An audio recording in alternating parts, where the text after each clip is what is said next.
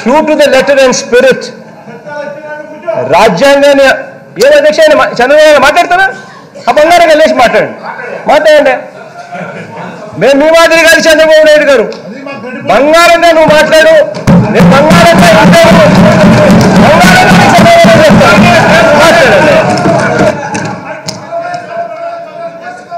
జగన్మోహన్ రెడ్డి గారు. స్పీకర్ గారు ఇవ్వకుండా ఆయన చెప్పిస్తారు. మీ స్పీకర్ గారు ఇవ్వలేరు కాబట్టి మీరు చెప్తేనే ఇస్తున్నారు కాబట్టి సంతోషిస్తున్నాం. మీ అంటే దీన్ని బట్టి చూస్తే దీన్ని బట్టి చూస్తే హౌస్ను మీరే రన్ చేస్తున్న కూడా అర్థమవుతా ఉంది. నాకు కూడా ఈ హౌస్లో సీనియర్ మోస్ట్ ఎమ్మెల్యే నేను. గుర్తుపెట్టుకోవాలి మీరు మొత్తం రెండోసారి మూడోసారి మీరు ఇక్కడ రావచ్చు కానీ నేను ఈ హౌస్లో చాలామంది ముఖ్యమంత్రులు చూశాను. జగన్మోహన్ రెడ్డి గారు నేను ప్రతిపక్షంలో ఉన్నా రూలింగ్ పార్టీలో ఉన్నా ముఖ్యమంత్రిగా కూడా ఉన్నాను. దాని గురించి వదిలిపెట్టండి. చంద్రబాబు నాయుడు గారి మాటలు వింటా ఉంటే నిజంగా దయ్యాలు వేదాలు వర్ణించినట్టుగా ఉన్నాయి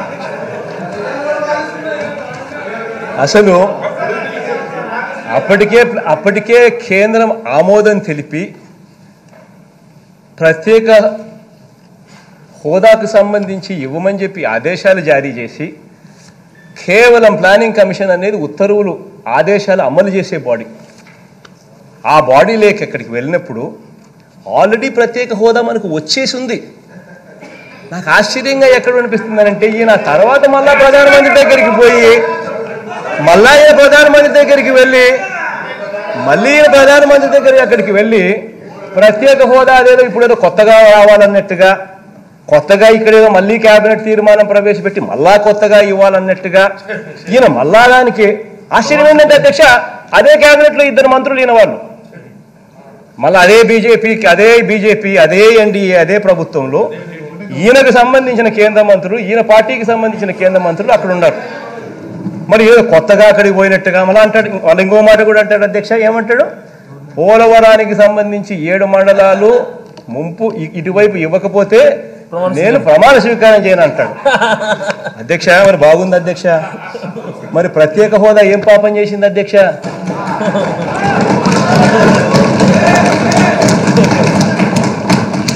నోరు తెరిస్తే అబద్ధాలు. సత్యదూరమైన మాటలు అధ్యక్ష. సత్యదూరమైన మాటలు. అధ్యక్ష ఇక ఆయన విజ్ఞతగా ఇడిచిపెట్టిన అధ్యక్ష. ఇక ఆయన విజ్ఞతగా ఆయన విజ్ఞతగా ఇడిచిపెట్టేస్తా. కంప్లీట్ చేయనామండి ఆయన కంప్లీట్ చేయనామండి తర్వాత ఇక మీరే అధ్యక్ష. క్లారిఫికేషన్స్ అడగండి. True to the Please. Letter and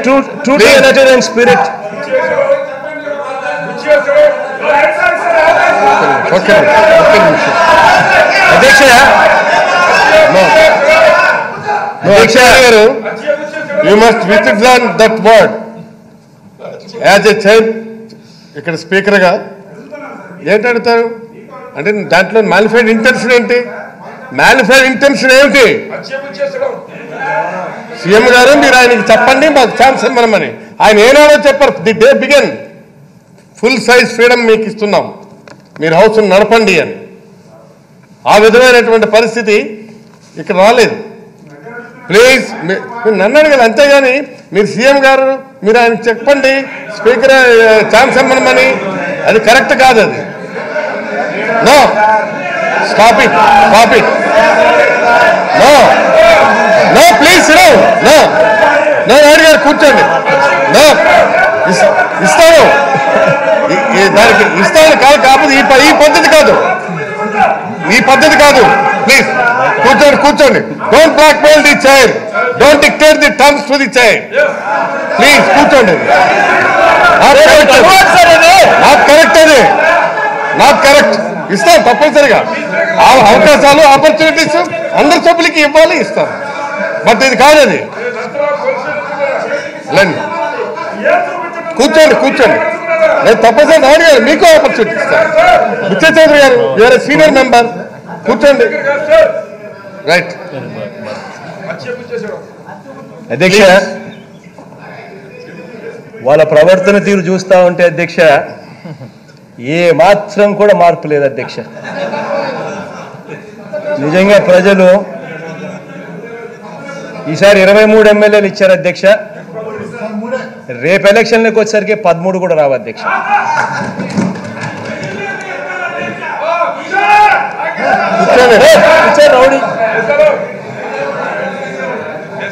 ప్రజలిచ్చిన అధికారంతో అధ్యక్ష ఈ ప్రజాస్వామ్య దేవాలయంలోకి అడుగుపెట్టాం థ్యాంక్ఫుల్లీ వాళ్ళు ఇచ్చిన అధికారంతో కాదు కాబట్టి మాట్లాడగలుగుతా ఉన్నాం అధ్యక్ష. True to the letter and spirit అధ్యక్ష రాజ్యాంగాన్ని అమలు చేసే సభగా ఈ శాసనసభను నడపాలని చెప్పి మనస్ఫూర్తిగా ఆశిస్తూనే ఆశించే మిమ్మల్ని మిమ్మల్ని ఆ స్థానంలో మేమంతా కూడా మద్దతు ఇచ్చి కూర్చోబెట్టాం. ఆయన నోరు ఆయన నిలబడగానే ఏ రోజు కూడా ఇంతకుముందు ప్రతిపక్షంలో మేము నిలబడినప్పుడు మేము మాట్లాడాలా అని చెప్పి అడిగినప్పుడు ఏ రోజు మాకు మైకులు కూడా రాలా. అట్లాంటిది అరవై ఏడు మంది ఎమ్మెల్యేలతో మేము ఉన్నప్పుడు మా పరిస్థితి అది. అయినా ఇవాళ ఆ అరవై ఏడు మందిని కాస్త ఇరవై మూడు మందిలోకి పడిపోయినా కూడా అయినా కూడా ఆయన లేచి నిలబడితేనే నేనే కూర్చున్నాను ఆయనకే గౌరవం ఇచ్చి మాట్లాడమని చెప్పాను. మనం ఇంతవరకు మాట్లాడింది సాంప్రదాయాలు మాట్లాడాం. కన్వెన్షన్స్ అని కూడా. కనీసం నేను ఒకటే అడిగాం మా పార్టీ తరఫున కొన్ని విషయాలు మేము రేజ్ చేస్తే ఈ ఐదు సంవత్సరాలే మాట్లాడమంటారు. చరిత్ర ఎవరు మర్చిపోలేము. ఆ చరిత్ర దగ్గర వద్దంటారు. అధ్యక్ష ఇక్కడ ఎప్పుడైనా సరే చరిత్రలో వేరే పార్టీలు పోటీ చేసుకున్న సందర్భంలో తప్ప ఇలాంటి గౌరవమైన పదవి వచ్చినప్పుడు ఒక కన్సెన్సస్ కానీ లేకపోతే అదర్ పార్టీస్తో మాట్లాడి కోఆర్డినేట్ చేయడం ఒక సాంప్రదాయం. కనీసం అపోజిషన్ పార్టీ లీడర్ సభానాయకుడు నిన్నంతా కూడా మేము వెయిట్ చేశాం. ఒక్క మాట మా వాళ్ళకి కానీ నాకు కానీ ఫోన్ చేసి మేము సీతారామ గారిని పెట్టాలనుకున్నాం మీరు కూడా సహకరించమంటే మేము కూడా హ్యాపీగా మిమ్మల్ని ప్రపోజ్ చేసేవాళ్ళం. అది చెయ్యలేదు. రెండో అధ్యక్ష ఈరోజు ఇక్కడికి వచ్చాం హౌస్లోకి వచ్చాం. కనీసం ప్రధాన సభానాయకుడు వస్తాడు ముఖ్యమంత్రి గారు వచ్చి మీరు పిలుస్తారన్నప్పుడు ప్రతిపక్ష నాయకుడు కూడా వస్తారని ఒక మాట చెప్పుంటే నేను నేరుగా వచ్చేవాడిని. కనీసం అధ్యక్ష పిలవని పేరంటానికి రావడం న్యాయమా? మీరు చెప్పండి. నాకు కూడా హుందాతనం లేదా గౌరవం లేదా? కనీసం అందుకే ఒక్క నిమిషం. మా అపోజిషన్ లీడర్ మా డిప్యూటీ లీడర్ ఉంటే డిప్యూటీ లీడర్ మీరు వెళ్ళండి. నన్ను పిలవకపోయినా పర్లేదు అవమానం చేసినా పర్లేదు మీరు వెళ్ళమని చెప్పాను. వచ్చారు. పిలవలేదు రికార్డు చూడండి. రికార్డు చూడండి. పిలవలేదు. కనీసం అధ్యక్ష ఆ విషయం నేను చెప్పాను మీకు. చెప్పిన తర్వాత పదే పదే చెప్పి ఒక సభ్యుడు అచ్చెవనాయుడు గారి బంట్రోతంటారు అధ్యక్ష. ఎంత అహంభావం అధ్యక్ష. నేను పిలవకపోతే మీకు తప్పు మిమ్మల్ని. ఓకే నేను ఒప్పుకున్నాను. పిలవకపోయినా రాకుండా పోవడం నా తప్పు. అదే నేను అచ్చెన్నాయుడు గారిని గౌరవంగా మీ దగ్గర పంపిస్తే బంట్రోతుని పంపించారని అహంభావంతో మాట్లాడారంటే దీనికి ఏమన్నా అధ్యక్ష? అప దీనిపైన అపాలజీ చెప్పాల్సిన పని లేదా? అడుగుతున్నా ఇది న్యాయమా మీరే చెప్పండి. అధ్యక్ష. Leader of the house please. అధ్యక్ష. అధ్యక్ష. ప్లీజ్. సాక్షాత్తు మన కళ్ళ ఎదుటనే ఘటన జరిగింది. దాన్ని ఎలా వక్రీకరిస్తా ఉన్నారని క్లియర్గా కనిపిస్తుంది అధ్యక్ష. అధ్యక్ష ప్రోటైమ్ స్పీకర్ గారు అక్కడ స్పీకర్ స్థానంలో కూర్చొని ఉన్నారు. ప్రోటైమ్ స్పీకర్గా స్పీకర్ స్థానంలో కూర్చొని ఉన్న మా చిన్నప్పల నాయుడు అన్న ఆయన ఫినిషింగ్ కామెంట్స్ స్పీకర్గా తమ్మినేని సీతారాం గారిని ఎన్నికైనారు యునానిమస్గా ఇక్కడ ఉన్న అన్ని పార్టీ నాయకులు కానీ అన్ని అన్ని పార్టీలు వచ్చి అన్ని పార్టీల నాయకులు వచ్చి స్పీకర్ గారిని సాదరంగా ఆహ్వానించి సీట్లో కూర్చోబెట్టండి అని చెప్పి ఆన్ రికార్డ్ చిన్నప్పల నాయుడు అన్న on record on record on record అధ్యక్ష కెన్ ప్లే దట్ అది ప్లే కూడా చేయొచ్చు. మీరు కావాలంటే. చిన్నప్పల నాయుడు గారు ప్రోటైన్ స్పీకర్గా అన్న మాటలు. చిన్నప్పల నాయుడు గారు ఆ మాటలు అనిన తర్వాత సాధారణంగా నేను లేచి మిమ్మల్ని ఇక్కడ ఆలింగనం చేసుకుని మిమ్మల్ని సాధారణంగా తీసుకొని వచ్చి నేను అక్కడ కూర్చోబెట్టా. నాతో పాటు కొంతమంది నాయకులు కూడా మా వాళ్ళకు సంబంధించిన కొంతమంది నాయకులు కూడా వచ్చారు. అటువైపు నుంచి నేను చూస్తే అచ్చెన్నాయుడు గారు ఇంకొకరెవరో నాయకులు వచ్చారు కానీ చంద్రబాబు నాయుడు గారు అక్కడి నుంచి లేచి రాలే. మనం అందరం కూడా చూస్తూ ఉన్నాం ఇక్కడ. నాకు నాకు ఆశ్చర్యం నాకు ఆశ్చర్యం అనిపించింది. నాకు నాకు అక్కడ నాకు ఆశ్చర్యం అనిపించేది ఏంటంటే అధ్యక్ష when leader of the floor leader మాట్లాడుతుండే మన లీడర్ ఆఫ్ ది హౌస్ మాట్లాడుతుండేటప్పుడు మధ్యలో మీరు క్రాస్ టాక్ చేయకూడదు. వెరీ ఇంపార్టెంట్ నాకు ఆశ్చర్యం అనిపించేది ఏంటి అధ్యక్ష ఇంత ఇంత ఇంత ప్రక్రియ సాక్షాత్తు కళ్ళ ఎదుటనే జరిగితే ఆయన రాకపోవడం తప్పు ఆయన చేసింది తప్పు అని చెప్పి తెలుసుకొని ఆ తర్వాత తప్పు చేశాను అని చెప్పి దాన్ని అర్థమైన తర్వాత దాన్ని కప్పిపుచ్చుకునే దాని కోసము ఏకంగా ఏమేం మాట్లాడిస్తున్నాడు ఏమేం చెప్తున్నాడు అసలు అది నిజంగా నాకు ఆశ్చర్యం అనిపిస్తుంది. ఒక అబద్ధం అనేది ఒక అబద్ధాన్ని ఒక అబద్ధాన్ని నిజం చేసేందుకు ఒక సామెత ఒక అబద్ధ సామెత అధ్యక్ష ఒక సామెత ఉంది. సామెత ఏమిటి అని అంటే ఒక అబద్ధాన్ని నిజం చేసేందుకు వంద సార్లు చెప్పిందే చెప్పి చెప్పిందే చెప్పి చెప్పిందే చెప్పి అదే నిజమని చెప్పి అనిపించే ఒక సామెత అధ్యక్ష. ఎగ్జాక్ట్గా అదే మాదిరిగానే ఇప్పుడు ఒక తప్పు చేశారు. ప్రోటైమ్ స్పీకర్ గారు ఆహ్వానం పలికినారు.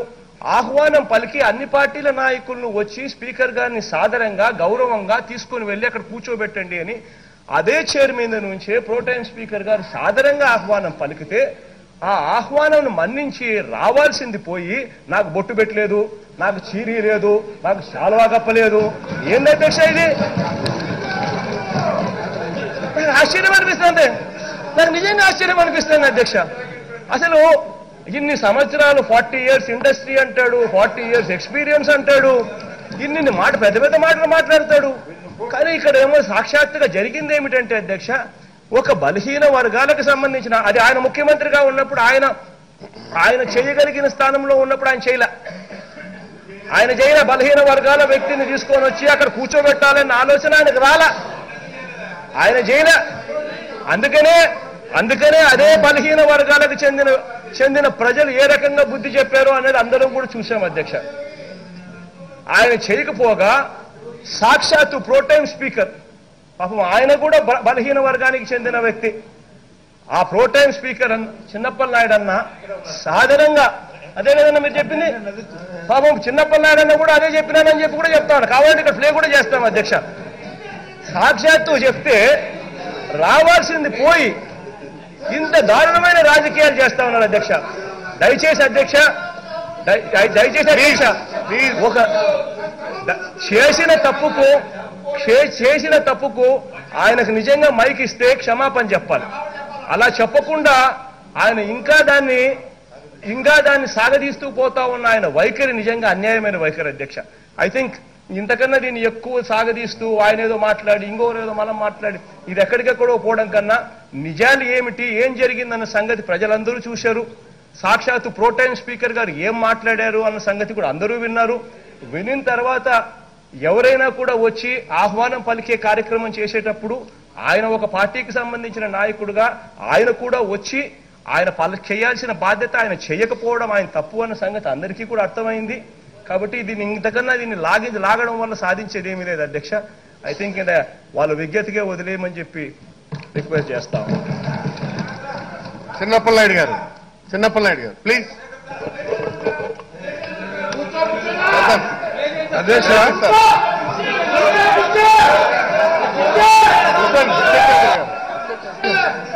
చిన్నప్పలనాయుడు గారు ప్లీజ్ అధ్యక్ష. ఇదే శాసనసభలోనే విలువలేని రాజకీయాలు చూశాం. చట్టాలను తూట్లు పొడుస్తూ చట్టసభలోనే డిస్క్వాలిఫై చేయని దిగజారిన వ్యవస్థను కూడా ఇదే చట్టసభలో చూశాం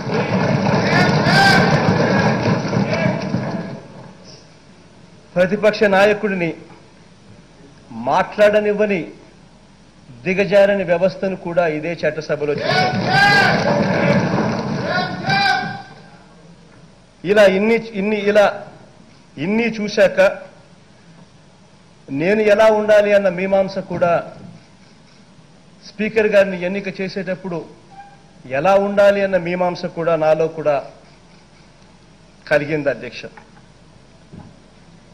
కానీ నేను కూడా అలానే చేస్తే నేను కూడా అటువంటి అన్యాయమైన సాంప్రదాయాన్ని పాటిస్తే ఇక మంచి అనేది ఎక్కడా కూడా బతకదు అధ్యక్ష. రాష్ట్రం కూడా బాగుపడే పరిస్థితి కూడా ఉండదు అధ్యక్ష.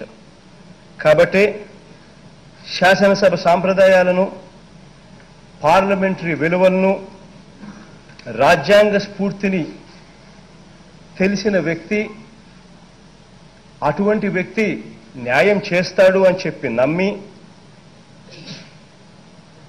అటువంటి అన్ని గుణాలు మీలో ఉన్నాయి అని చెప్పి సంపూర్ణంగా నమ్ముతూ ప్రజాస్వామ్యం మీద చట్టసభల మీద మళ్ళీ నమ్మకం పెంచేందుకు అందుకు సీఎంగా నా సంపూర్ణ నిబద్ధత ఉండాలి అని వ్యవస్థలోకి మార్పులు తీసుకురావడం కొరకు సీఎంగా ఒక మంచి మనసు ఉండాలని అందుకే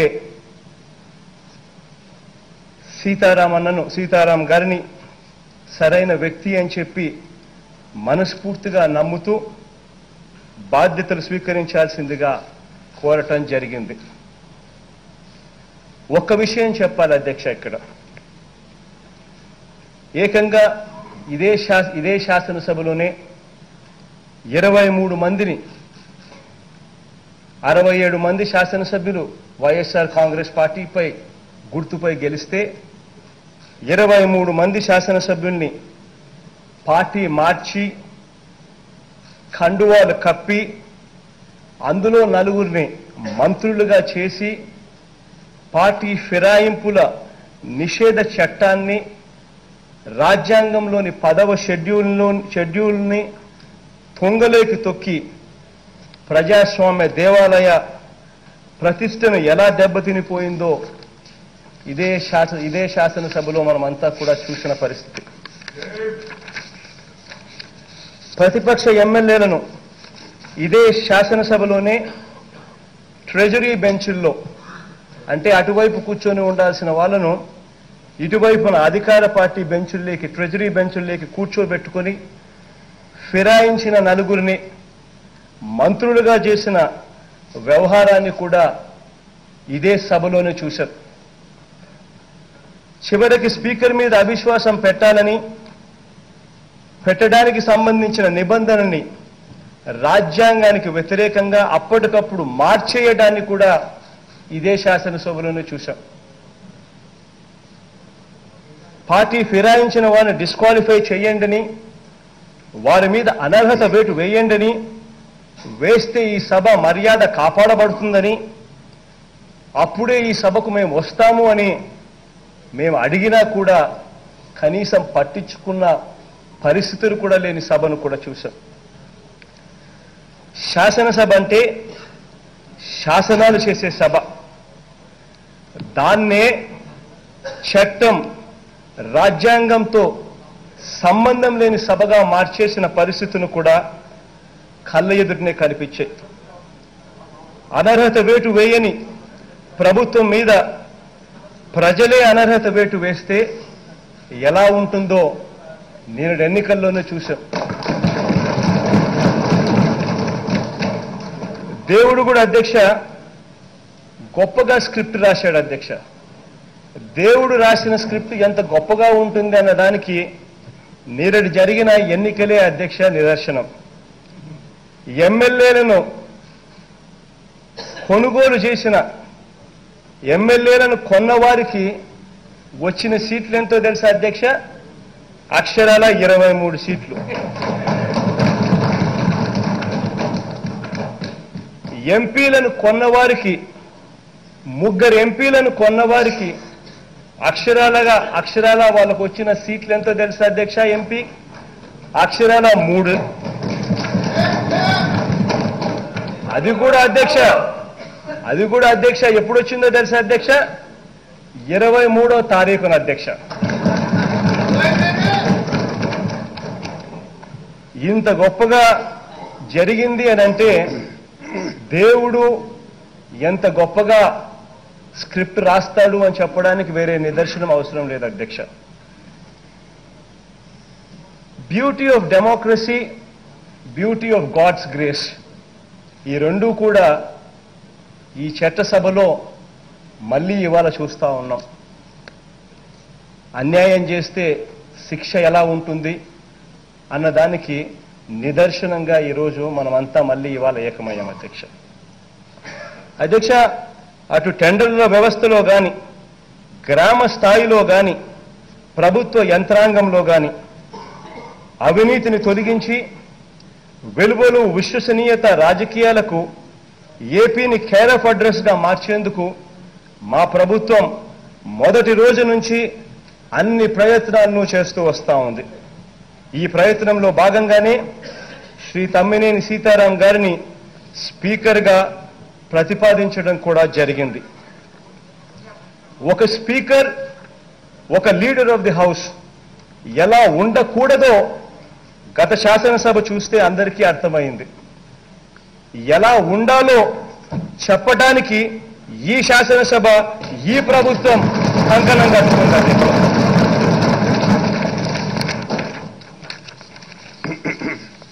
అధ్యక్ష బీసీలంటే బ్యాక్వర్డ్ క్లాసులు కాదు బ్యాక్ బోన్ క్లాసులుగా మారుస్తాము అని మా పార్టీ ఏలూరులో బీసీ డిక్లరేషన్లో చెప్పింది అధ్యక్ష.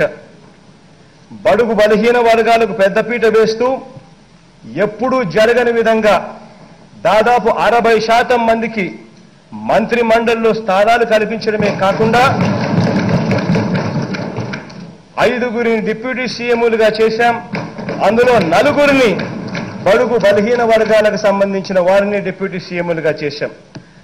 అందులో భాగంగా ఇంకా ఒక అడుగు ముందుకు వేస్తూ ఇప్పుడు తమ్మినేని గారిని ఎంపిక ద్వారా అధికారంలోనూ పరిపాలనలోనూ శాసనసభలోనూ మా కమిట్మెంట్ను మా కట్టుబాటును నిరూపించుకుంటా ఉన్నాం అధ్యక్ష ఈరోజు. మీ ఆధ్వర్యంలో నడిచే ఈ శాసనసభ పార్లమెంటరీ సాంప్రదాయాల విషయంలో దేశానికి ఆదర్శం కావాలని కోరుకుంటూ మరోసారి మీకు అభినందనలు తెలియజేస్తా ఉన్నాను అధ్యక్ష. ఇక్కడ ఒక్క విషయం మాత్రమే అందరికీ చెప్పదలుచుకున్నాను అధ్యక్ష. అధ్యక్ష ఎవరైనా కూడా నాకు ఇక్కడికి వచ్చినప్పుడు కూడా అడిగారు అధ్యక్ష. చంద్రబాబు నాయుడు గారికి ఇరవై మూడు మంది శాసనసభ్యులు ఉన్నారు. ఒక ఐదుగురిని లాగేస్తే ఆయనకు పద్దెనిమిది మంది పదిహేడు మందో వస్తారు. అప్పుడు ఆయన ప్రతిపక్ష నాయకుడు స్టేటస్ కూడా ఉండదు లాగేద్దామని. నేను అన్నా అధ్యక్ష అలా చేస్తే నాకు ఆయనకు తేడా లేకుండా పోతుంది అన్నాను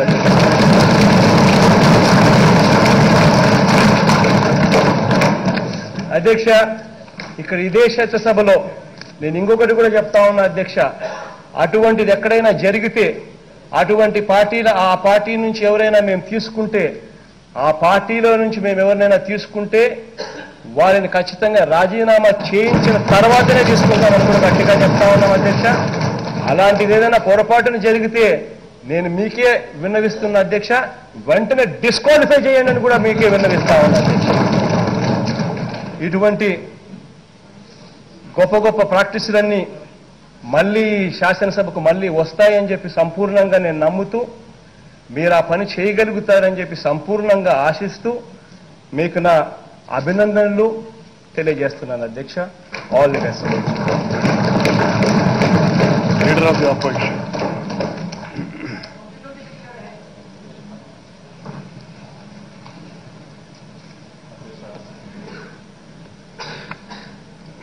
విభజన తర్వాత ఆంధ్రప్రదేశ్కి రెండవ స్పీకర్గా మీరు ఎంపిక కావడం చాలా సంతోషం అధ్యక్ష మీకు మనస్ఫూర్తిగా అభినందనలు. వ్యక్తిగతంగా తెలుగుదేశం పార్టీ తరఫున మీకు మనస్ఫూర్తిగా శుభాకాంక్షలు తెలియజేస్తున్నాను.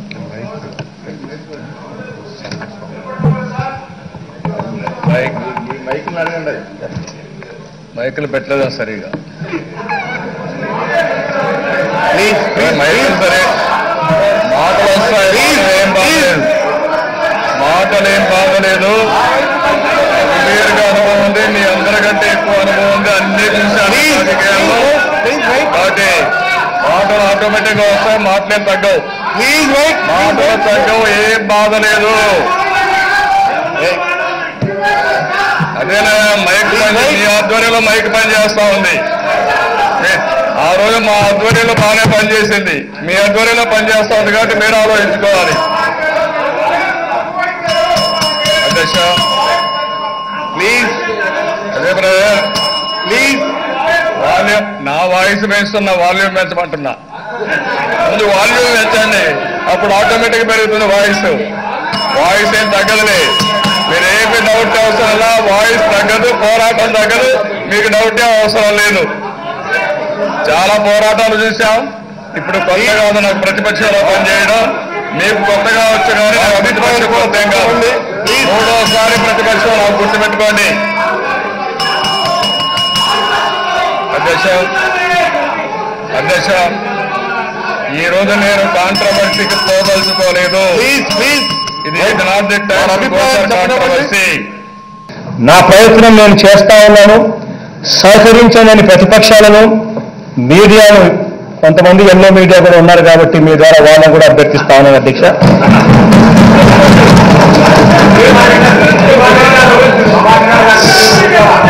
సహకరించకపోయినా సహకరించకపోయినా నా అడుగులు ముందుకే స్పష్టం చేస్తా ఉన్నాను.